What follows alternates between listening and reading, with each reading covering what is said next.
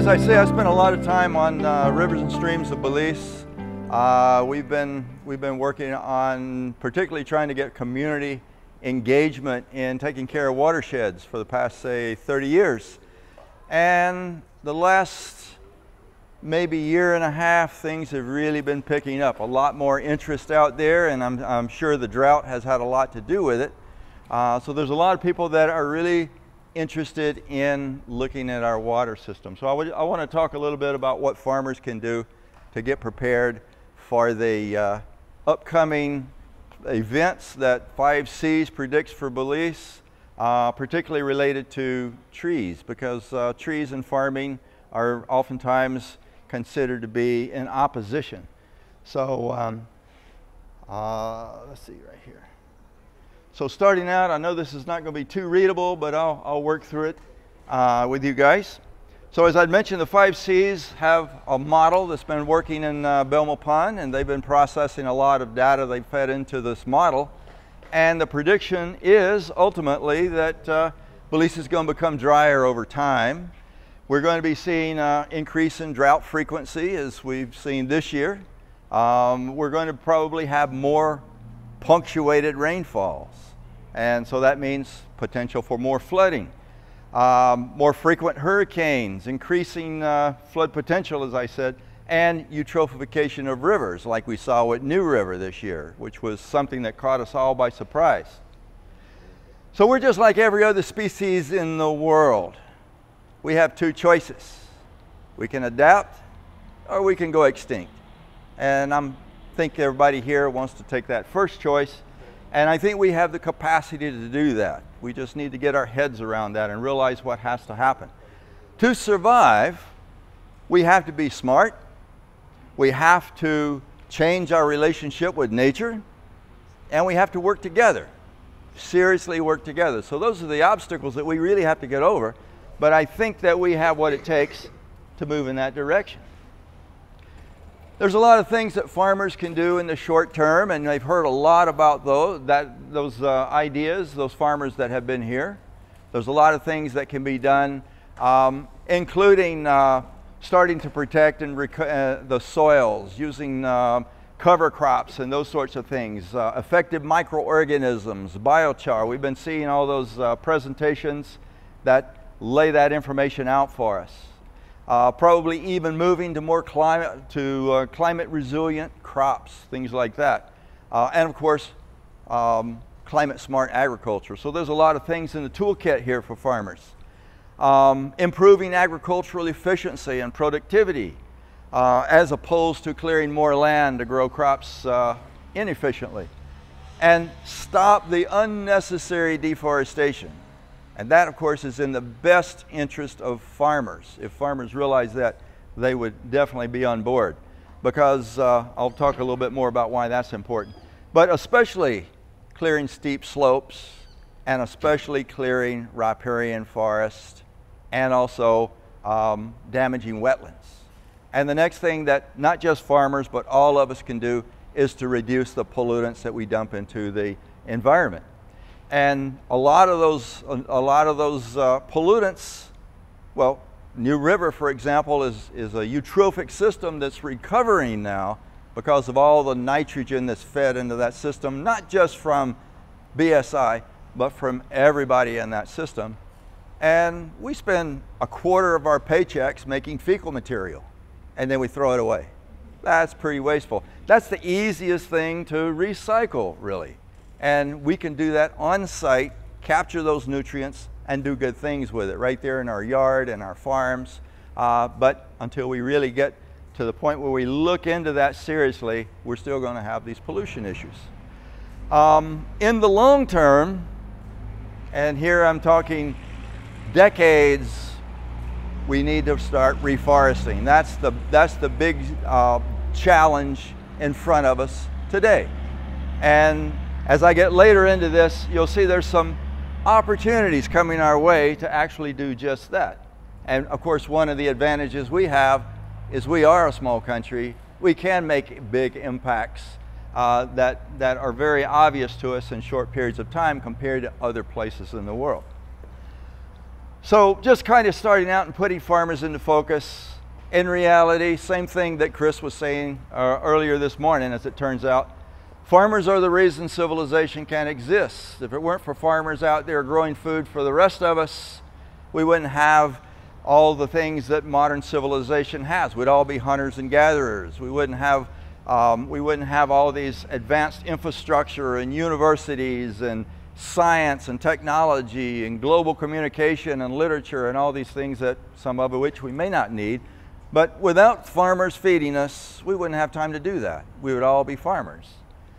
Um, but the problem is, no matter how good the soil is, no matter how high quality the seeds are, ultimately it all comes down to no matter how much the farmer really knows it all comes down to how much water is available, ultimately, whether or not we have successful crops, as this year points out with uh, corn and everything else. So, one thing that history teaches us is that having dependable water available or not is what causes civilizations to live or die. Civilizations crash when water's not there. And that's one of the theories for what happened to the ancient Maya. And of course, that, that particular issue is related to the potential deforestation of this area by the Maya that were here. We're doing the same thing. We're following into the same footsteps. What, what the history doesn't really teach us, what you really have to look into the ecology to understand is how important forests are to providing the quality and the quantity of water that we need. It's the forests that are the water makers. In Costa Rica, they have protected all of their mountain range that runs through the center of the, of the country. And they refer to that as their water factory because that's where the waters are collected and, and eventually feed into the rivers that provide for their, their people and industries and so forth. Trees are water pumps. They're pulling the water out of the ground, they're putting it back into the atmosphere, they're contributing to the local climatic patterns. The trees aren't there, that doesn't happen local climate is no longer uh, like it was. Um, the roots and, the, and the detritus and the soil and the associated microbes around every root are vital to determining the quality of water that filters through soil and ultimately into the rivers and streams. That's why when we strip out all of our riparian forest, the quality of our rivers begin to, to uh, degrade. So ultimately, the message here is deforestation kills civilizations. And we don't want to go down that route. We don't have to go down that route, hopefully. Hopefully, we got time here. So, a little bit about what's uh, going on in Belize deforestation wise. When I first got to Belize in the 1980, um, we were looking at something roughly like 70% cover of, of forest areas in the country. And uh, Today it's down to about 58%, roughly 40% of that being in protected areas. But that doesn't mean it's protected because even in the protected areas, forests are degrading. Um, another 18% of that is in private hands. And that's the forest that degrades the fastest because that's the, forest that can be cleared for, like uh, the big patch of forest east of, of Belmopan. Uh, that's been cleared recently for sugarcane. So we're going to see sugarcane growing there at some point from Santander. So ultimately, we're looking at roughly an 18% loss rate in 40 years, roughly 5% per 10 years. That's pretty, that's pretty startling. Um, and of course, uh, this is increasing. It's not slowing down, it's increasing. We're getting larger farms, we're getting uh, a lot of export we're getting corn, beans, rice, sugar, uh, replacing our, our uh, traditional exports of uh, bananas and citrus. And all of that's not being developed on old banana and citrus farms, it's being developed in new bush. So deforestation is, is on the rise, um, unfortunately. One I've got here that you're not going to be able to appreciate, but I encourage you to do so on your own laptops, is a Google Earth shot um, this would actually, if you could see it, it actually shows the Rio Hondo running through the, the center of the screen here, and on either side, Mexico and Belize. And you can see essentially this is a river that is sitting in the middle of a, a pretty much agriculturally devastated landscape. But also, what you would see if you could see it is there's forest patches left. There's um, potential for redeveloping the forest cover and doing so in a productive landscape, where at the end of the run, you can restore ecosystem services and you can enhance, not reduce, the productivity of the landscape if you work hand in hand with the climate smart approach to agriculture and also taking care of the elements of the environment that are providing those vital ecological services that keep us all going, including, including farmers. Belize is on this side. All right, here we go. I just, I just wanted to flash this up about riparian forests, looking at it from the farmer's perspective, what the, what the real benefits are to the farmer uh, and to all of us really. Um, riparian forests, of course, are preventing bank failure if they're left intact. And that's sediments that otherwise make it all the way out to the, the marine environment and ultimately uh, humbugging those areas. But one very important thing is standing uh, riparian forests dissipate flood energy.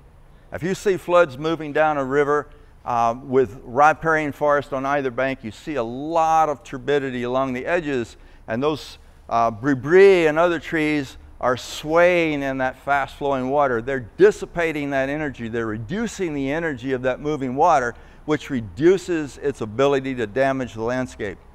Strip those out, and you've got much faster flowing water with a lot more destructive potential. And uh, we've seen examples of that uh, quite frequently in Belize. Um, it's also the filter system of the landscape. All this so-called non-point discharge, things that aren't coming out of a pipe but are, but are draining off the landscape.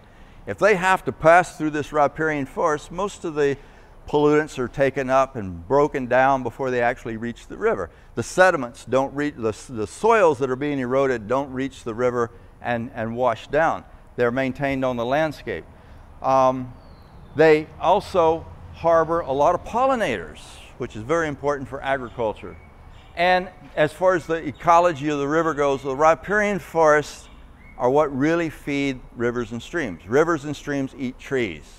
They eat the leaves and limbs and fruits and flowers of the riparian forest that's falling into the river all the time. And that's the base of this detritus processing system. So when you strip out those riparian forests, you remove the shade, you remove the food source, you reduce the, the, the, the uh, biodiversity of the organisms living there. So this is a, an example of the uh, Belize River Valley, and, and again, I encourage you to check this out on Google Earth. I like to use Google Earth rather than other sources of remote imagery because we all have access to that. We can all sit down and look at images that are less than two years old and see things relatively frequently. And it's the best source of information you can, you can access uh, in a moment's notice. But you can, you can see the, the amount of uh, deforestation all the way up to the edges of the river and pretty much throughout the, uh, the river valley. So there's a, a, tremendous amount of, of agriculture happening here. Uh, even the the uh, tributaries coming into the streams have been cleared almost completely. And so those are essentially nothing but drainage ditches now, feeding directly into the Belize River. And by the way, everybody here, no matter where you're coming from out of Belize, whatever tourist that lands in Belize, we all drink from the Belize River. Every one of us. If you drink bottled water, if you drink Belikins, if you drink Coca-Cola, you're drinking from the Belize River. So the Belize River is of national importance for water in Belize, not just for the 140 to 50,000 people that actually live there, but for all of us. This is kind of zeroing in on, on a, a meander of the river so that you can see the extent of deforestation that obviously is not so clear to you. But most of what you see that line the riverbanks are not trees. That's spiny bamboo. That's one of the things that can come back pretty readily and is the first successional plant in a recovery process Um, but it's also tends to really challenge trees that are trying to go through that thick mat. But at least it's there to help fortify the riverbanks and allow some recovery. I was called in not long ago to um, work with uh, SWAG, the um, Southern uh, Watershed Alliance group that is wanting to create a management plan for the North uh, Stann Creek. And if you could, uh, if you could see this map, what you would see is this river reach, instead of having corn and beans on all, this, on all sides of it, this is almost completely citrus. This is the one area where there's still lots of citrus development going on. And uh, this next shot, actually, you can't really see it either, but um, there's a, a little coated lines on here where the red lines represent where there are absolutely no riparian forests left. And then there are yellow lines that where, is where there's riparian forest left, but it's less than the 66 feet that we all think is a law, but it's not. It's a suggestion. And, and it doesn't have the power of a law or a regulation at this point. Uh, we were trying to weave that into the, the integrated water, the Integrated Water Management Act, the Integrated Water Resource Management Act. It took us 12 years to get that, that idea eventually converted to a law in 2013, but it was never enacted. So we still don't have an active act, and we still don't have an umbrella organization such as a Water Resource Management Authority to make these decisions.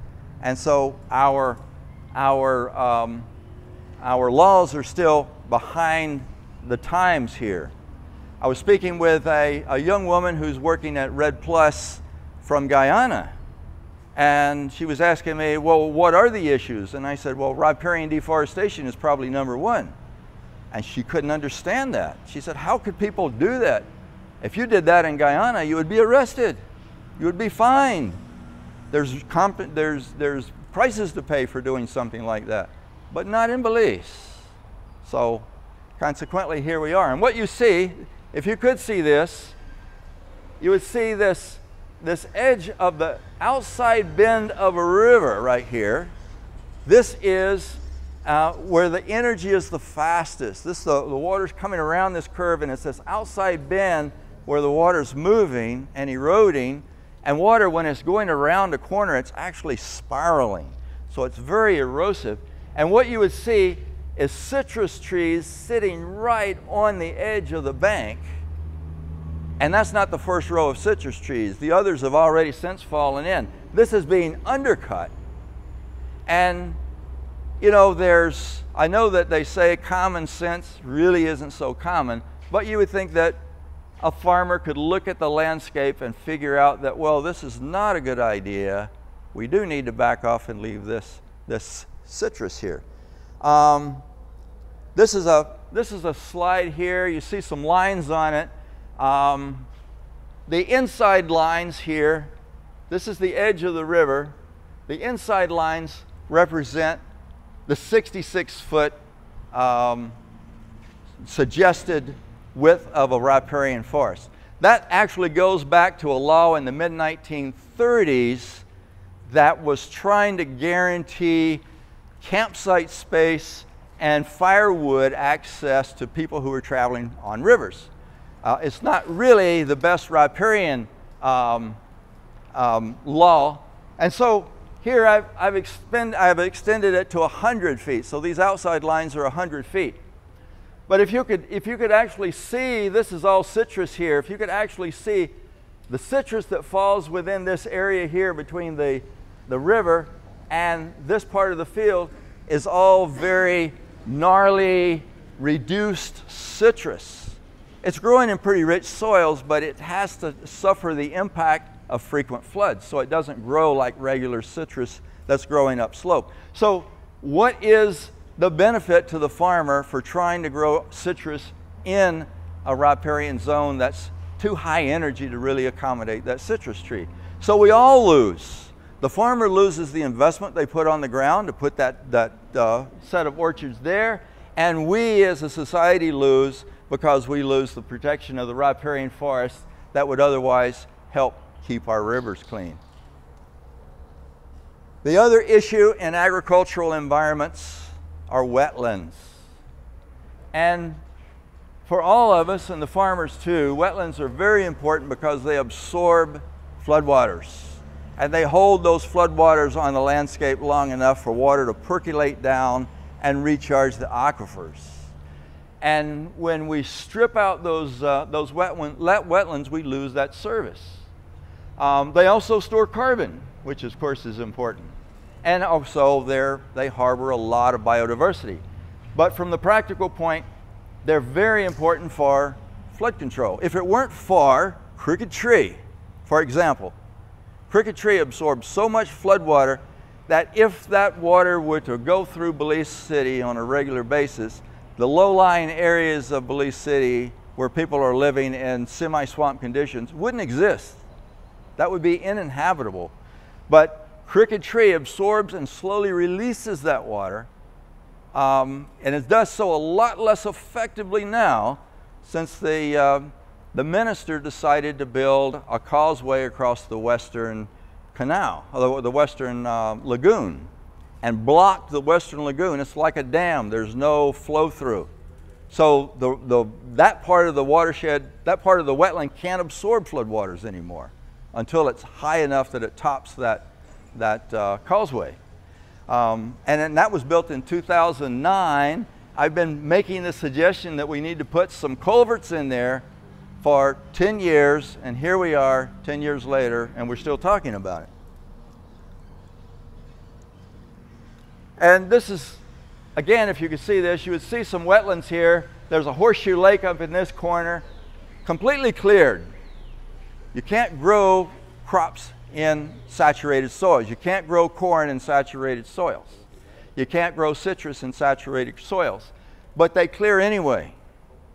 And asking the farmer why, the answer is so that you don't have to turn the tractor, you can plow in a straight line.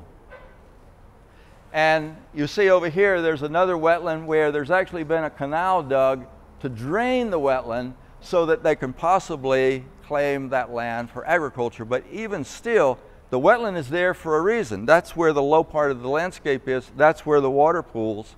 And the plants that lived there were the plants that were adapted to that and the farmer took those out hoping that they're going to be able to expand the field, but that just doesn't work. This last shot shows a, a wetland sitting in, in the middle of a field that has been plowed through on one side and has crops going all the way up to the saturated soil on the other side. But again, the wetland has been pretty well denuded and none of that's left anymore.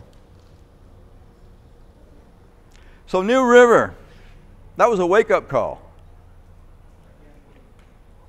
ah, water. I can't go a day without this stuff. I'm addicted. But New River's a wake up call. One thing that it taught us is that we're not prepared. The DOE, I was part of this task force to help try to struggle with this event. The DOE was taught, caught completely off guard, and we didn't really have the tools to go in and address the issue uh, they did the best they could under the circumstances. We pulled out what we could, what was available to us to try to do a little bit of alleviation, but that's about all we could do. And New River became, of course, as you all know, eutrophic. And it had a lot of hydrogen sulfide gases coming off of it because it was anaerobic. Fish kills by literally the truckloads. Even crocodiles turn belly up in, in New River. And the news is it's going to happen again. New River is sitting, it is a wetland river. It's sitting in a fault line. It's a low, it doesn't have very much elevation to begin with. So it's a very slow moving river and it's highly susceptible to uh, eutrophic events. As a matter of fact, when the, when the, the rainfalls weren't there to push the water out, the river started flowing backwards because the, the tidal, the saltwater wedge would rise up the river and push the water back upstream. And all that oily film that, that you saw on the surface of the water, that was all these um, waxes and oils from the, from the anaerobic breakdown of plant material. This system is already, it's in a wetland, it's already loaded with organic material. And then, of course, BSI has traditionally used the river as a disposal system. But over the years, they have made improvements. Their big issue right now is cooling water that's not cooled down enough before it's discharged into the river. That's the big issue they've got to get their heads around. And they're investing a chunk of money to put in cooling towers and that sort of thing, especially after this year.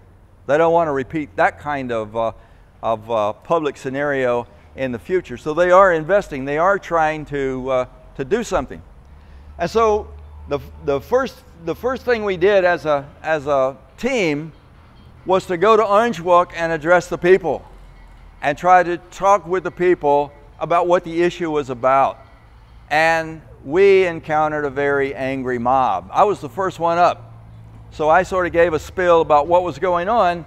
And I said, yes, BSI is, de is definitely putting things in the river that we need to, to concern ourselves with, but that's only part of the problem. The rest of the problem is all of the agriculture. You can't see it here, but these two shots, this, this is showing a lot of uh, shipyard right here. They actually have dug a canal from their slaughterhouse directly to the river.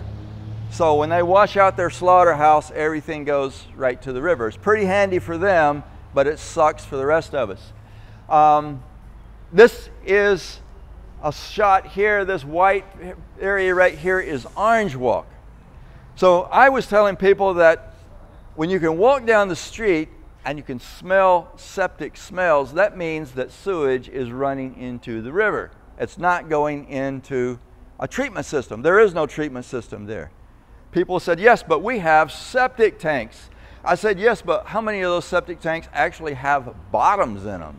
And septic tanks only work if, they're, if they have filter systems on the end. They need bioremediation. They need, they need to stop all of the discharge coming from Orange Walk as we clean up the rest of the system. And we also have to do a lot of work in, um, in shipyards. So that's where the emphasis is being placed right now. Uh, DOE has been also canvassing these areas, identifying the point sources. But when you get down to the uh, Mennonite communities, what you're going to find is hardly any riparian forest left. They, the tractor goes as far into the wetlands as they can before it starts to bog down, and then that's where they back up. But they clear farther than that to guarantee they don't shade their crops and consequently suffer the impacts. Okay, well here's, the, here's where the news is here. You can't actually see this one. This is pretty good. Restoration and agroforestry projects. These aren't happening in Belize right now, but they're on the verge of happening. This is the first time I've ever seen this situation, and I think this is in response to people realizing where we are right now. We've got six major projects, and all of these are all of these projects are multi-million dollar projects.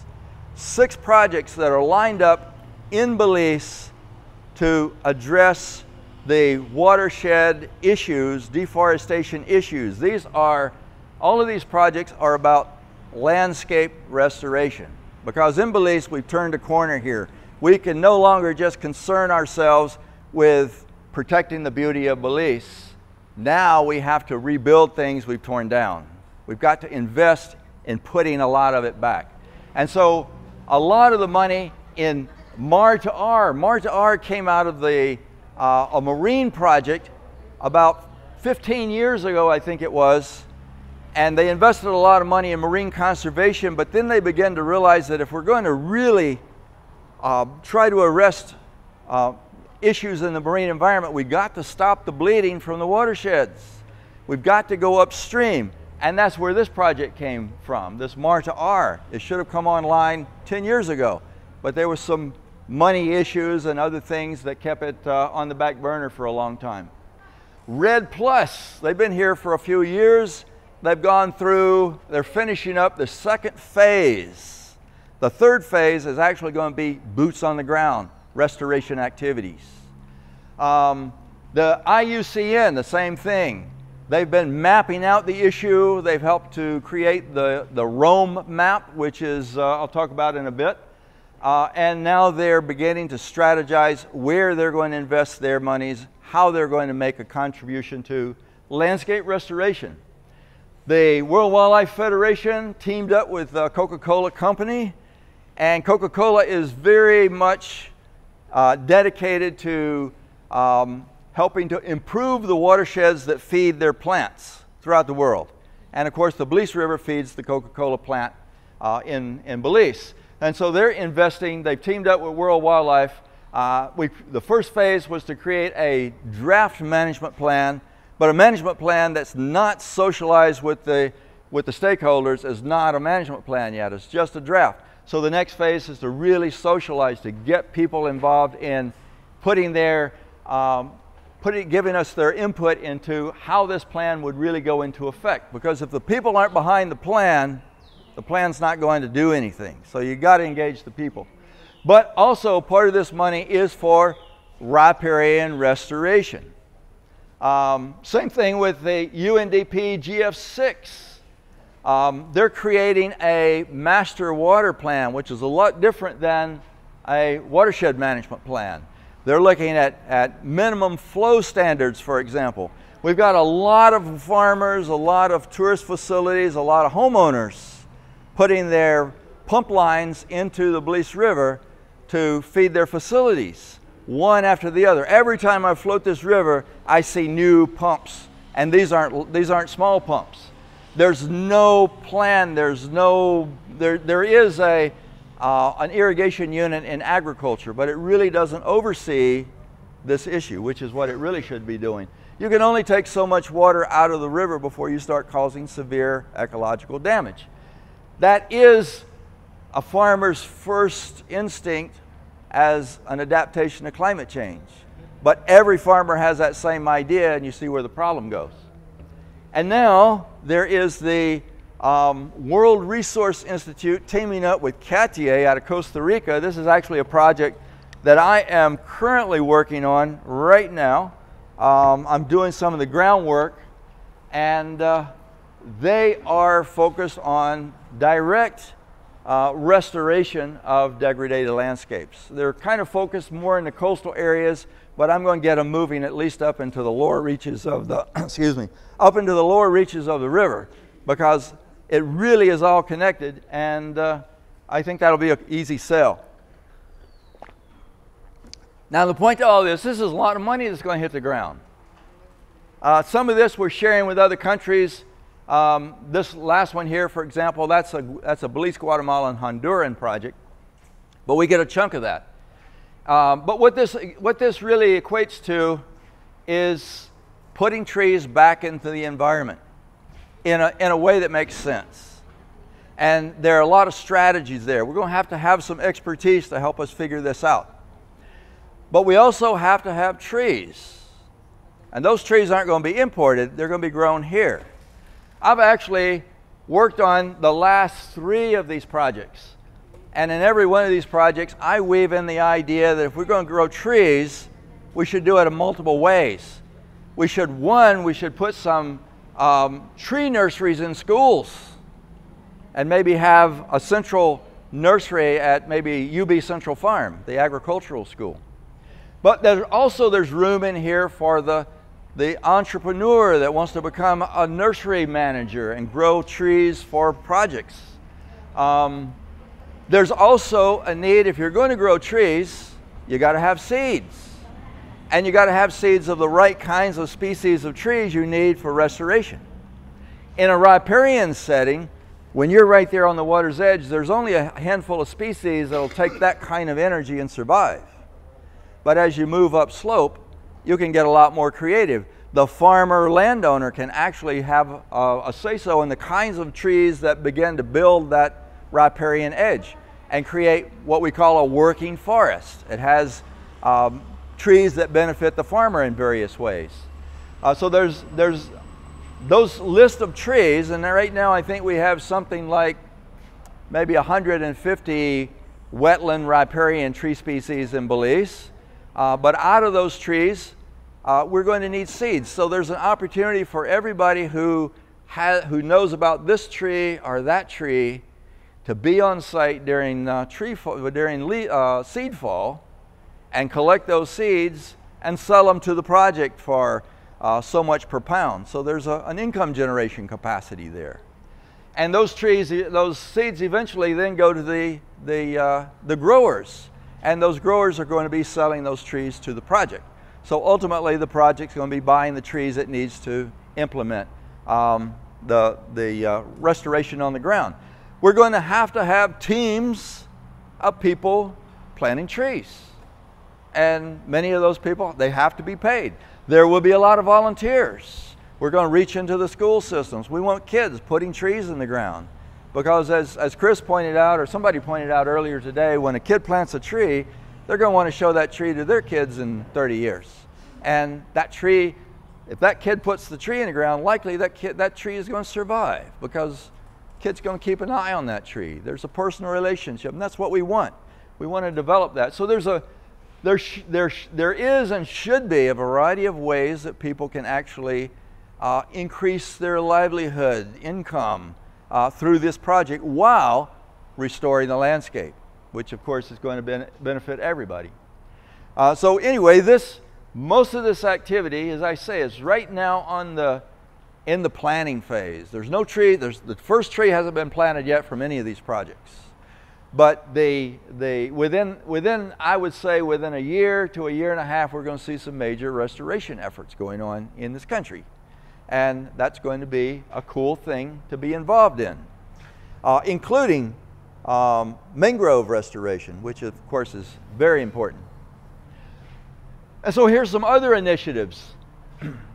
the Ministry of Natural Resources is leading this thing called uh, land degradation neutrality for Belize. In other words, if they want to be sure that if deforestation does continue, then there's at least replacement, which I don't, I don't see that as being the best scenario, but they're trying to at least um, put a mark in the sand here. And uh, then the, the, uh, the National Climate Change Office and CATIE are developing a policy for agroforestry. And we were talking about agroforestry today. That's a blend of forestry and agriculture. And there's a lot of very creative ways that can happen. We're talking about not just recovering the landscape, but we're also talking about food sources here. We're also talking about timber and other things that we can, we can uh, bring to the, to the table with, with agroforestry. So there's a, there's a lot of things here, but there's no policy to guide that. It's not something that forest that the uh, forest department really takes ownership in, because as I forget who it was, maybe it was Chris that pointed out that that's they look at that as an agricultural project. But agriculture doesn't take hold of it because they said, well, this is really a forest project. It reminds me of mangroves in the old days. They threw that ball back and forth too. But uh, finally, forestry stepped up and took control of mangroves. And I think forestry is going to probably take control of agroforestry too, but they're going to drag uh, agriculture into this thing uh, as well because agriculture has a vested interest here. And agroforestry needs to become a tool in every farmer's toolkit because they've got lands they can't produce on that they need to recover. And why not recover it not just with the the, uh, uh, the local set of trees, but you can begin to add a few trees have had, that have economic importance as well. So I think that eventually it will catch on.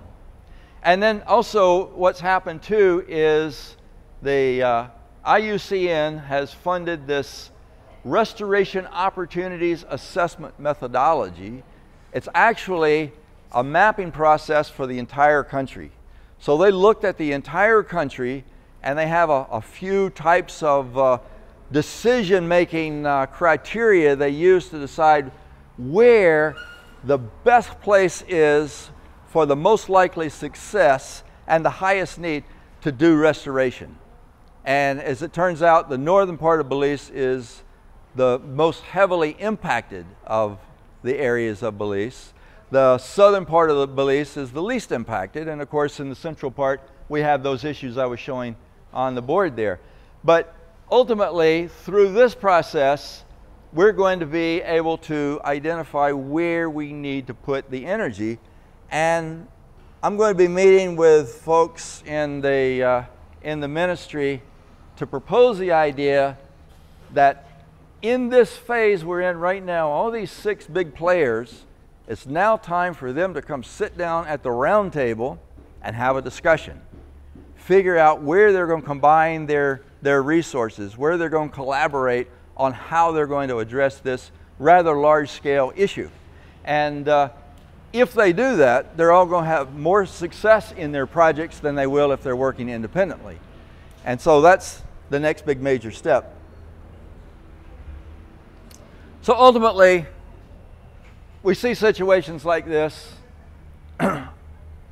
this is the Belize River going through agricultural lands, and you do see a row, and I do say a row of trees over here. They're not very thick. That's uh, maybe, maybe close to 66 feet, but you can still see through it as you're floating down the river, and that's my gauge. If I can see through the trees, that's not thick enough. And on this side, you have a few scattered trees, but the rest of this is all spiny bamboo.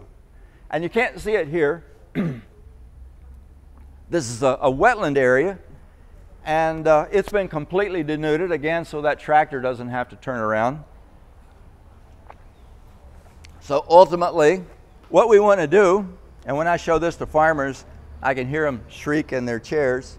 We want to create something like that. Put back the riparian forest, put back the filter system.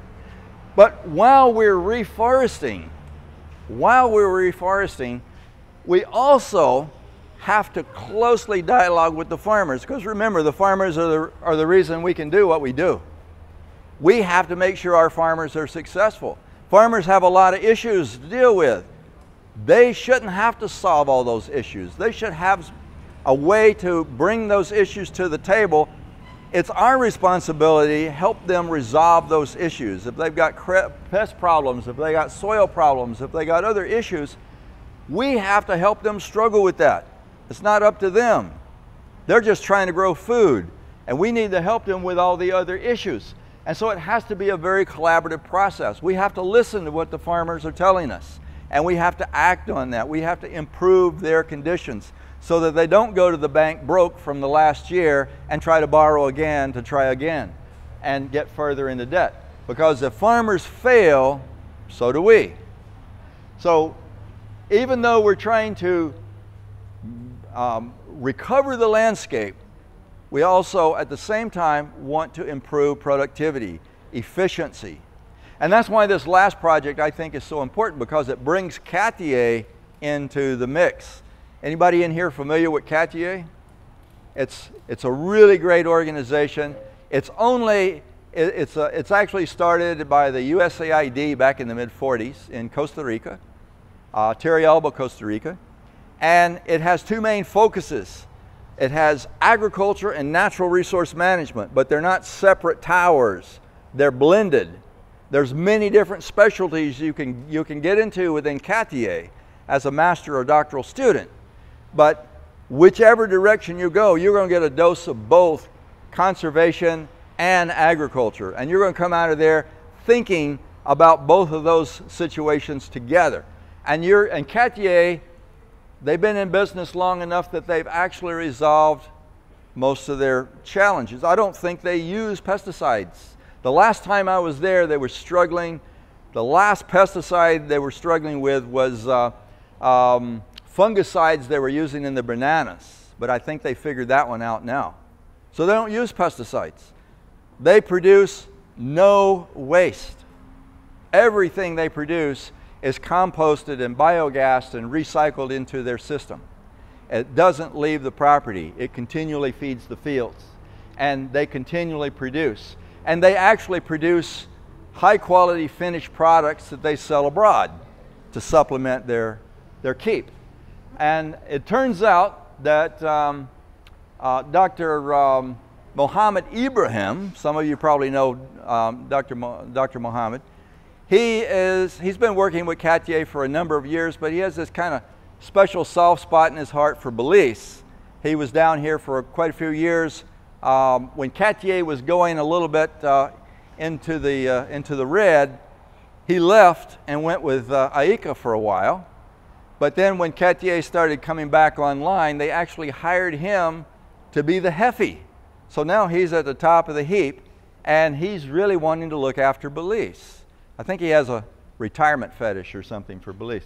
But anyway, uh, we got a lot of friends in CATIE, and CATIE knows how to raise crops in tropical environments with far more insect pests than we're dealing with here because they're further south, and do so successfully without pesticides, without generating waste, and creating a lot of their own energy that drives their systems.